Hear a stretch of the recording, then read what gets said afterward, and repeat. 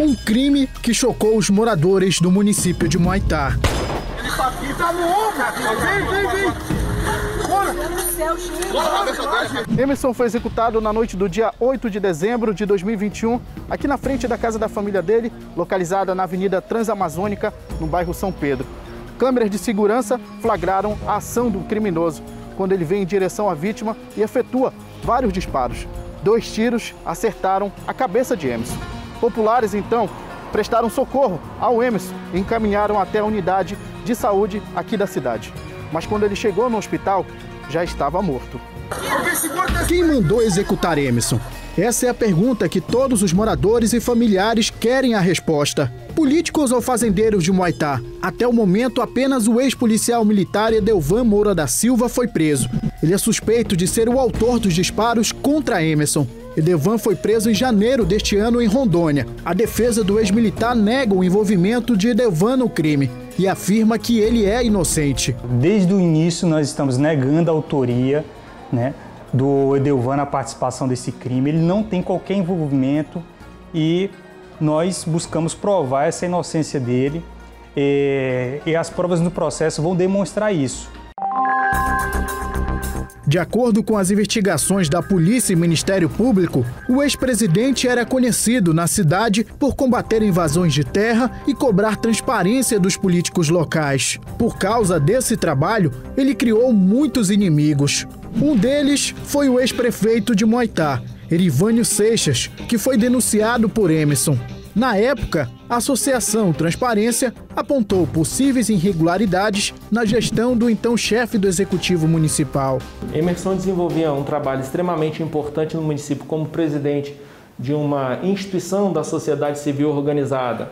Buscava a fiscalização de atos do poder público, com certa frequência ele procurava o Ministério Público para trazer a notícia da ocorrência de ilícitos na gestão pública e isso, claro, trouxe para ele alguns inimigos. A família de Emerson afirma que antes de ser executado, ele registrou um boletim de ocorrência contra o ex-prefeito Erivânio por sofrer ameaças de morte e chegou a ser agredido dentro da prefeitura por Erivânio e por um dos seus seguranças. O irmão do Emerson foi vereador de Moitá e sempre o alertava sobre os perigos que corria como presidente da Associação Transparência. Já está na Câmara de Vereadores, inclusive, uma das contas do ex-prefeito condenada pelo Tribunal de Contas do Amazonas, pelo doutor Érico, conselheiro Érico, já deu um parecer pedindo a condenação da conta, no qual quem partiu a denúncia foi da transparência, na qual ele presidia. Né? Quando ele viu o Emerson, ele quis avançar no Emerson.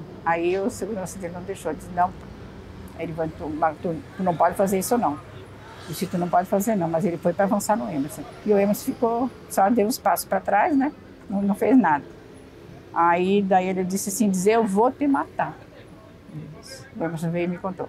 Ele disse, eu vou te matar. Ele apontava o dedo no rosto, o Emerson repetiu três vezes, eu vou te matar.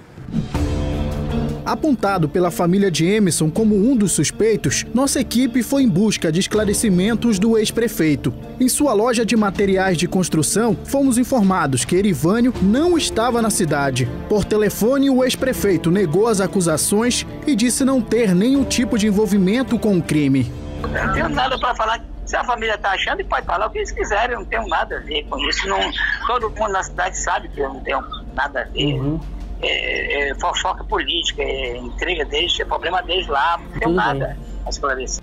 Não há linha de investigação que de qualquer forma associe o senhor Irivânio com o assassinato, com, por ter participado ou auxiliado na morte do Emerson.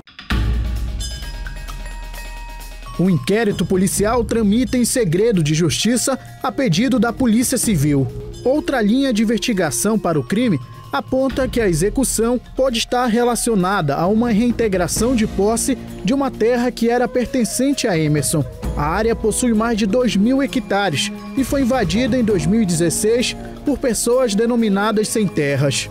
Porém, essas imagens obtidas pelos familiares do ex-presidente mostram o contrário. A terra estava sendo utilizada para exploração ilegal de madeira.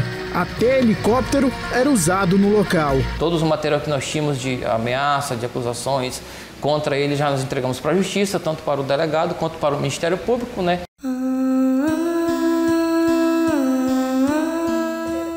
A mãe do Emerson lembra de cada momento que passou com ele.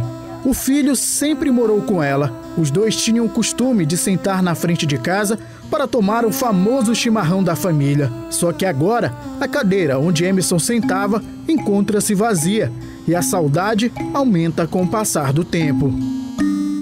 Eu gritava e chamava o nome dele, de Emerson, Emerson. Olha para a mãe, Emerson, olha para a mãe, ele não abriu os olhos. Começou logo a chegar gente e tudo, me tiraram dali de junto dele. E uma poça enorme de sangue, não sabia quantos tiros que tinham acertado nele, nem nada. Mais da metade dos homicídios no Brasil ficam sem resposta.